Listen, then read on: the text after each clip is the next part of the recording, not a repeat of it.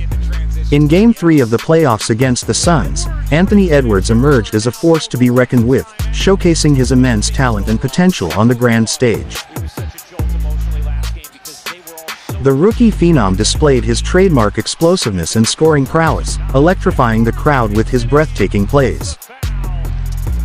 From thunderous dunks to silky smooth jumpers, Edwards demonstrated his offensive versatility and fearlessness, relentlessly attacking the defense and putting pressure on the Suns throughout the game.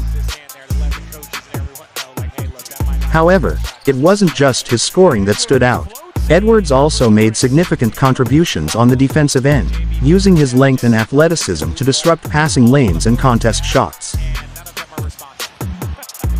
His tenacity and hustle were evident as he fought for rebounds and dove for loose balls, embodying the intensity required to compete at the highest level of playoff basketball.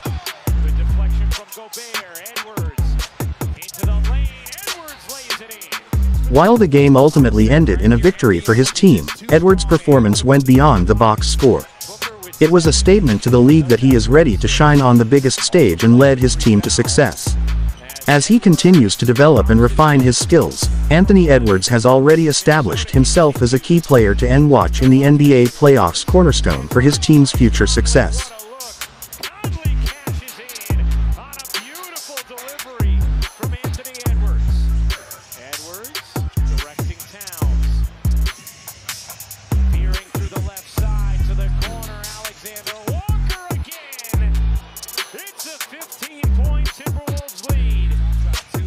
For 15 for three, but two of those threes were transition plays in that first quarter. So the Timberwolves have cleaned that up. They are pressuring so much and forcing them in.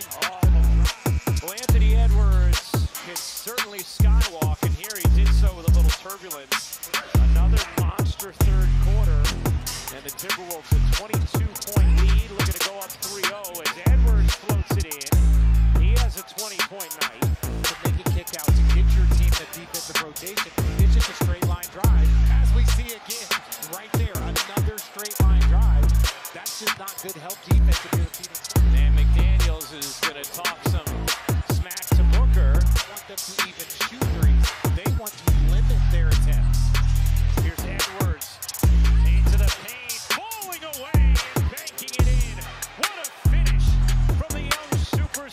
Anthony Edwards. Get a little dicey. Get it to your best player and tell him to attack.